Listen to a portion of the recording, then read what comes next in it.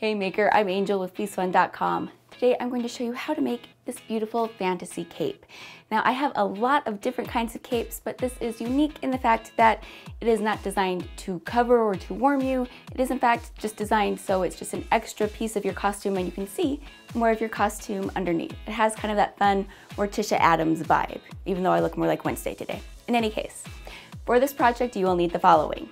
For this cloak you will need four and an eighth yards of tulle, fine netting, or mesh that needs to be at least 55 inches wide, two yards of satin blanket binding, rotary blade, ruler, and mat, and sewing essentials, sewing machine, pins, thread, that sort of thing.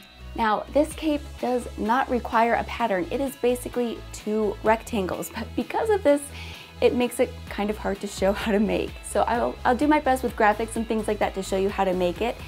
But just keep in mind we're dealing with two large, tri um, two large rectangles and it's, it's hard to film that because we're dealing with so much fabric. Now, we need to talk about the type of fabric that I'm using.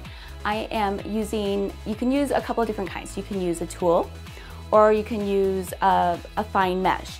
And um, these that I found were actually, I found them in the costuming um, fabric section. That's why I found like this cool one and stuff. Um, look around and find it. But the reason specifically I am using this is that they do not require the ends to be finished. So if you use something fancy like, oh, a gauze or a crepe or something like that, you will need to finish those edges.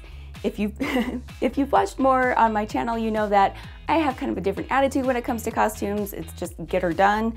And so you can just leave the edges raw on this, which I love because you can just make it look fabulous and move on with your life. All right, now that you have all those items, we need to start by cutting out the cape. How to make a cloak in 20 minutes. Easy. Step 1. Cut out the cloak pieces. We're going to make this in 20 minutes, so let's get going. The cloak is made up of four pieces, two hood pieces and two cape pieces. So when it comes to these fabrics, they're usually wider in their width, but we're gonna use all of that width. So just cut all the way across. You will need to cut the two hood pieces. For the adult, it will be 20 inches long and the width of the fabric. For kids, 6 to 12, simply cut one hood piece that is 16 inches long and the width of the fabric. And for kids 3 to 6, cut one hood that is 12 inches long and the width of the fabric. If you don't want the hood as long as it is down the back, just only use one width of the fabric instead of two. Now you can actually make this different lengths. You can make it all the way to the floor if you want to. You can make it a half cape or a capelet. It's really up to you, so you will need to decide. You're the designer here. How long do you want the cape part to be? For the cape body for children, cut one cape piece that is the length you desire by the width of the fabric. For the main body of the cape, you'll need to cut two rectangles, the length that you want the cape to be by the width of the fabric. For the adult cape, you should have two hood rectangles that are 20 inches by the width of the fabric, and two cape rectangles that are the width of the fabric by the length you desire. Note the cape width is very generous, but you can add more to the cape body if you want to. All right, now that we have that cut out and was really fast, it's time to start sewing. Step 2. Prep the hood. With right sides together, pin the hood pieces together along the short side, making the two rectangles one long strip. Sew together using a half inch seam allowance. Here's a graphic to show another way to look at it.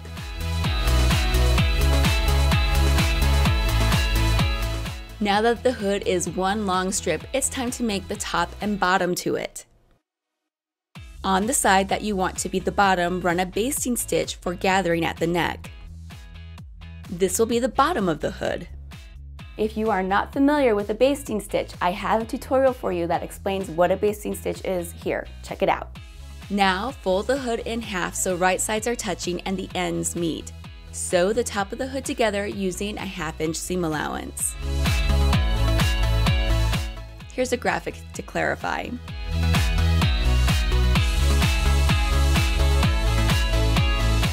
Hey, I'm just gonna take a quick second in the middle of the tutorial and ask if you could please hit that like button.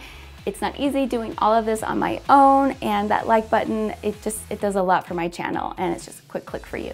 Really appreciate it. Thanks. Oh, and while you're clicking, why not hit subscribe too? Step 3. Prep the cloak. Now it's time to sew the cape pieces together. Like with the hood, the two cape pieces need to be sewn together to make one long rectangle. With right sides together, pin along the short side of the cape, that's the selvage edges, and sew together using a half inch seam allowance. If you're making a kid's cape with one panel, you'll skip this step. Now that it's one long rectangle, run a basting stitch along the top of the cape for gathering at the neckline.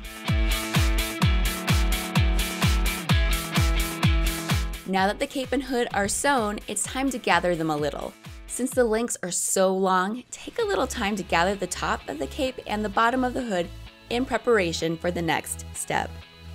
All right, now that we have that set up, we're going to gather it to the length for the neckline. Step 4. How to make a cloak. Let's bring this fabulous cloak together. Measure out the satin binding. For adults, I recommend 2 yards. For kids, 6 to 12, 1.5 yards and for 3 to 5, 1 and a quarter yards. Note, this makes a bow with longer tails. You are welcome to shorten it to suit your style, just make sure there's enough length to tie. All right, now for an adult, it's going to be about 20 inches. If you're plus size, I'm going to recommend that you add two to three inches on, onto that, so on each side. So that would put it at like 24 inches if you just want a little more space. Grab the satin blanket binding. Find the center and mark it on the inside. For adults, measure 10 inches from either side of the center mark so the neckline is 20 inches total. For kids 6 to 12, that should be 16 inches, so 8 inches on either side. And kids 3 to 5, it should be 14 inches, 7 inches on either side of the center mark. Now, I know this is kind of funky, and I'll kind of show you how it works on the cape because when the hood's down, it looks like this, and it looks really nice actually. So it actually looks nice when the hood's down and when the hood's up, you can't even see like where it's at. So it'll look normal. It might seem strange to you right now as you're sewing and putting it together. Trust me, it'll look good. Do it this way. You should have three marks on the binding, the center, the beginning of the neckline, and the end of the neckline. Open up the binding. Gather the cape body so the right side is facing up. Now, pull the basting stitch so the gathers are evenly distributed and the gathered fabric is the length of the neckline, the markings we just made. Now, get the hood piece. Right side of the hood fabric should be touching the right side of the cloak body we just gathered. Wrong side should be facing up at you. Gather the basting stitch to the neckline like we just did with the cape. Line up the gathered edges of the hood and the cape body and place in the binding right up to the crease. Now I am using satin binding just because it's really easy. It's already in half, but if you have really wide ribbon that you found on sale or something like that, you'll just want to press it in half and that will work as well. To finish up the DIY cloak, we're going to sew the binding shut by top stitching along the edge of the binding for the entire length, sewing the hood and cape to it in the process. Tip, pin the section with the hood and cape well. All right, now that we have everything gathered, we are just going to sew it all together and it's just one long seam all across that ribbon. Start at the end of the binding and sew all the way to the other end. It's a lot of layers to sew through when you get to the cape and hood, so take your time and go slow. Be mindful that the fabric doesn't bunch up under the needle. One last thing, you're gonna want to run a lighter along the edge that you cut so it's finished and it doesn't break. Trim your threads, and that's it. You have a cute cape with a dramatic hood that can work for different costumes. Tip, while I love the dramatic length of the adult hood, you can make it shorter by shortening the length of the hood pieces. I love that this adds to the costume, but you can still see what is being worn beneath it. Thank you so much for watching. Please be sure to hit that like button and subscribe for more awesome videos just like this one. And that's it. You have this great cape. I love it because you can see your costume underneath, but it adds another fun layer to it. It's very dramatic and it is very fast and easy to make. Win-win, right? If you like this tutorial, I have several more on my website, FleeceFun.com that I think you'll enjoy. Bunch of different cape patterns.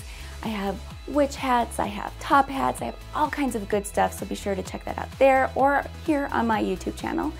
And let me know in the comments below Did you like Morticia Addams? Do, do you like her vibe or did she scare you as a child?